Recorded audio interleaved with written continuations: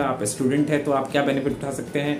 आप एक महिला है तो क्या बेनिफिट उठा सकते हैं? अगर आप टैक्स पेयर हैं तो क्या बेनिफिट उठा सकते हैं? आप नौकरी वाले हैं तो क्या बेनिफिट उठा सकते हैं? अगर आप पहली बार जॉब करने जा रहे हैं तो आप क्या बेनिफिट उठा सकते हैं? अगर आप अपना स्वरोजगार करना चाहते हैं तो क्या बेनिफिट उठा सकते हैं? अगर आप कोई स्किल सीखना चाहते हैं तो क्या बेनिफिट उठा सकते हैं? अगर आप अपना खुद का उद्योग, घर पे कुटीर उद्योग लगाना चाहते हैं तो क्या बेनिफिट उठा सकते हैं? अगर आप पढ़ाई करना चाहते हैं एज ए स्टूडेंट तो क्या फ़ायदा उठा सकते हैं? इस बार के बजट में फाइनेंस मिनिस्टर निर्मला सीतारमन जी ने सबको तोहफा दिया है। यानी कि हर वर्ग को टच करने की कोशिश करी है।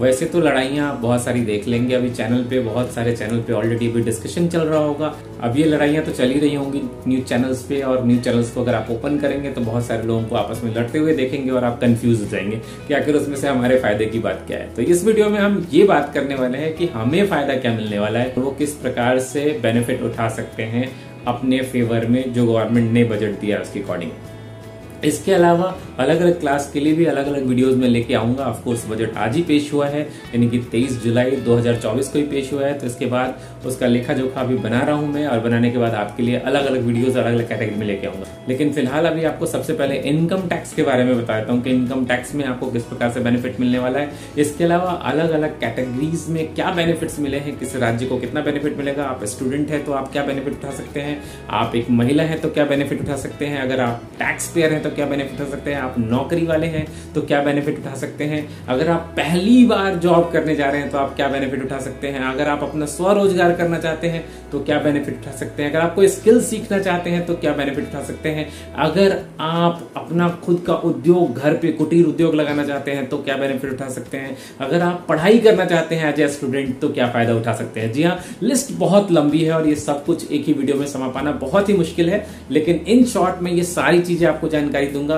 प्लस डिटेल में आपको बताऊँगा कि आप अपना टैक्स कैसे सेव कर पाएँगे न्यू टैक्स रिजीम के अकॉर्डिंग जो आज ऐलान हुआ है तेईस जुलाई 2024 को कि किस प्रकार से आपको बेनिफिट मिलने वाला है। जी हाँ सात लाख रुपए तक की सीमा बढ़ा दी गई है।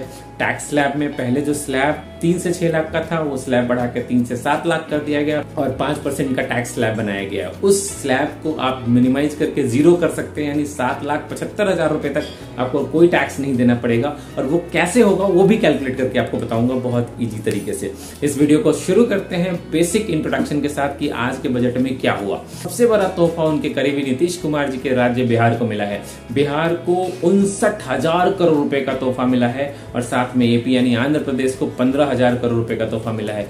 ये पंद्रह हज़ार करोड़ रुपए और उनसठ हज़ार करोड़ रुपए जो मिले हैं, वो मिलेंगे इन राज्यों को अपने राज्य में इंफ्रास्ट्रक्चर डेवलप करने के लिए। बिहार एक ऐसा राज्य है जिसके बारे में हमेशा ही रोना रोया जाता है कि इस स्टेट के पास कुछ भी अपना खुद का इंफ्रास्ट्रक्चर नहीं है और इसकी वजह से यहाँ के लोग बाहर जॉब करने जाते हैं। तो क्या ये उनसठ हज़ार करोड़ रुपए बिहार के विकास में हेल्प करेगा? और बिहार में नया इंफ्रास्ट्रक्चर डेवलप हो पाएगा, ये तो समय ही बताएगा। लेकिन अब आगे बढ़ते हैं, और क्या खास मिला है आज के बजट में, इसको मैं फटाफट आपके लिए बताता हूँ। तो नेक्स्ट सबसे इंपॉर्टेंट है मोबाइल पे। अगर आप मोबाइल यूज़ कर रहे हैं मोबाइल सस्ता होने के चांसेस है, क्योंकि मोबाइल के जो पार्ट होते हैं, ज़्यादातर पार्ट होते हैं, वो इम्पोर्ट किए जाते हैं। अब इम्पोर्ट क्योंकि किए जा रहे हैं चाइना से, या फिर कोरिया से, या फिर जापान से, या फिर दूसरे किसी ऐसे कंट्री से जहाँ पे टैक्स ज़्यादा देना पड़ता है तो इन इम्पोर्टेड आइटम के ऊपर टैक्स कम किए जा रहे हैं। अब चूँकि टैक्स कम लगेगा इंपोर्टेड आइटम पे तो ऑफ़ कोर्स उसका डायरेक्ट इम्पैक्ट आएगा। कॉस्ट ऑफ़ द प्रोडक्शन पे और प्रोडक्शन कॉस्ट सस्ता होगा तो आपको भी सामान सस्ते में मिलेगा।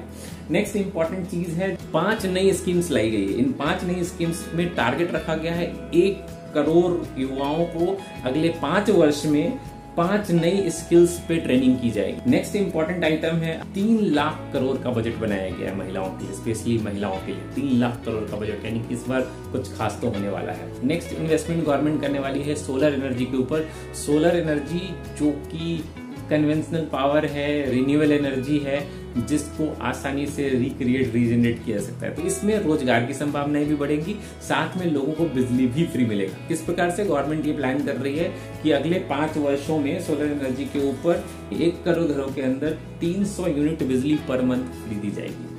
सोलर एनर्जी के थ्रू अब इतने सारे सोलर एनर्जी क्रिएट करने के लिए ऑफकोर्स सोलर पैनल लगेंगे. अब सोलर पैनल लगेंगे तो उससे रोज़गार भी उत्पन्न होगा और मज़े की बात इससे रिलेटेड है कि सोलर पैनल के ऊपर भी टैक्स कम किए जा रहे हैं. सोलर पैनल को बनाने में जो चार्जेस लगते हैं, जो कॉस्ट आता है, उसमें रिडक्शन होगा तो ऑफकोर्स सोलर पैनल भी सस्ते में मिलेगा. आज की डेट में सोलर पैनल्स घर पे नहीं लगाने का सबसे बड़ा प्रॉब्लम यह है कि उसका कॉस्ट इतना हाई होता है कि लोग उस कॉस्ट पे जाने नहीं जाते। तो अगर वो सस्ती होगी तो ऑफकोर्स लगाना इसे पसंद करेंगे लोग। बने रहिए हमारे वीडियो में। अभी टैक्स वाला पार्ट बाकी है। इससे पहले फटाफट ये चीज़ें आपको बताता हूँ और फिर टैक्स को डिटेल में समझाता हूँ। सो so, अगला इंपॉर्टेंट चीज़ है एग्रीकल्चर के ऊपर। गवर्नमेंट एग्रीकल्चर के लिए 1.52 लाख करोड़ का बजट लेके आ रही है। तो अगर आप किसान हैं अगर आप एग्रीकल्चर से जुड़े हुए हैं तो ऑफकोर्स आपको भी बेनिफिट मिलने वाला है। अगर आप स्टूडेंट है तो आपके लिए विशेष एजुकेशन लोन पे क्या बेनिफिट मिलने वाला है? अगर आपको कोई एजुकेशन लोन नहीं मिल पा रहा है अगर आपको कोई प्रॉब्लम आ रही है एजुकेशन कंप्लीट करने में तो गवर्नमेंट आपको हेल्प करेगी एजुकेशन लोन लेने में। एवरी ईयर प्रत्येक साल अगले पाँच वर्षों तक एक लाख स्टूडेंट को दस लाख रुपए तक का एजुकेशन लोन दिलाने में गवर्नमेंट हेल्प करेगी हायर एजुकेशन करने के लिए। गवर्नमेंट उसके ब्याज का जो इंटरेस्ट चुकाना पड़ता है लोन लेने के बाद, उसके ब्याज का तीन परसेंट तक गवर्नमेंट पे कर देगी। अगर एजुकेशन लोन मान लीजिए अगर आठ परसेंट पे आपको मिल रहा है तो उसका तीन परसेंट गवर्नमेंट दे रही है, यानी कि आपको सिर्फ़ पाँच परसेंट चुकाना पड़ेगा। तो इस तरीके से एजुकेशन लोन भी सस्ता हो जाएगा और इजी होगा पढ़ाई को इम्प्रूव करना। नेक्स्ट इंपॉर्टेंट है, अगर आप युवा है और पहली बार जॉब करने जा रहे हैं, अगर आप पहली बार जॉब कर रहे हैं किसी ऑर्गेनाइजेशन में, और आपकी सैलरी एक लाख रुपए से कम है तो फ़र्स्ट टाइम ईपीएफओ में रजिस्टर्ड होने के लिए गवर्नमेंट ऑफ़ इंडिया या ईपीएफओ पंद्रह हज़ार रुपए आपको अपनी तरफ़ से देगा ईपीएफ के लिए। तीन इंस्टॉलमेंट में आपको मिलेंगे पाँच हज़ार पाँच हज़ार पाँच हज़ार करके, लेकिन पंद्रह हज़ार रुपए गवर्नमेंट के एंड से मिलेंगे। लास्ट अब चलते हैं टैक्स कैलकुलेशन के बारे में जानने के लिए। उससे ठीक पहले एक पॉइंट और, तीन करोड़ आवास बनाए जाएँगे अगले पाँच साल जी हाँ गवर्नमेंट ऑफ़ इंडिया ने तय किया है कि अगले पाँच साल में गरीबों के लिए जिनके जो निर्धन है, जिनके पास घर नहीं है, अपने खुद के मकान नहीं है, उनको हेल्प करेगी गवर्नमेंट घर बनाने में सहयोग करेगी और टोटल तीन करोड़ आवास बनाए जाएँगे। अब चलते हैं फटाफट टैक्स के बारे में जान लेते हैं। जी हाँ टैक्स लैब में क्या चेंज हुआ है? ओल्ड रिजीम में कोई चेंज नहीं हुआ है। जो चेंज हुआ है न्यू रिजीम में चेंज हुआ है। न्यू रिजीम में अगर आप जानते हैं पहले से ही तो आपको पता होगा zero to three lakh rupees तक कोई टैक्स नहीं था। थ्री लैक्स से लेके सिक्स लैक्स तक फाइव परसेंट का टैक्स था। अब इसको चेंज करके थ्री लैक्स से सेवन लैक्स तक कर दिया गया फाइव परसेंट यानी कि थ्री लैक्स से सेवन लैक्स का रेंज हुआ फोर लाख रुपीज़ का। फोर लाख का फाइव परसेंट टैक्स होता है ट्वेंटी थाउज़ेंड रुपीज़ यानी कि अगर आप कुछ भी डिक्लेयर नहीं करते, कहीं इन्वेस्टमेंट नहीं करते तो आपको ट्वेंटी थाउज़ेंड रुपीज़ का टैक्स लग जाएगा पूरे साल में। अब इस ट्वेंटी थाउज़ेंड रुपीज़ को आप कैसे ज़ीरो कर सकते हैं, वो आपको बता देता हूँ। इनकम टैक्स के सेक्शन नंबर 87 ए के अकॉर्डिंग अगर आपकी taxable income up to five lakhs rupees है तो आप अपना टैक्स माफ़ करवा सकते हैं up to twenty five thousand rupees तो यहाँ टैक्स तो सिर्फ़ ट्वेंटी थाउज़ेंड रुपीज़ ही लग रहा है, यानी कि पूरा का पूरा ट्वेंटी थाउज़ेंड रुपीज़ माफ़ हो जाएगा। तो हो गया zero tax plus standard deduction जो था, वो फिफ्टी थाउज़ेंड रुपीज़ था, जिसको बढ़ा के सेवेंटी फाइव थाउज़ेंड रुपीज़ कर दिया गया है। यानी कि अब सात लाख पचहत्तर हज़ार रुपए तक आपको कोई टैक्स नहीं लगेगा। आप टैक्स फ्री आराम से मस्त जीवन जी सकते हैं। इसके अलावा अलग अलग ग्रेड में अलग अलग टैक्सेस है। टैक्स के लिए मैं अलग से डिटेल वीडियो आपके लिए लेके आऊँगा।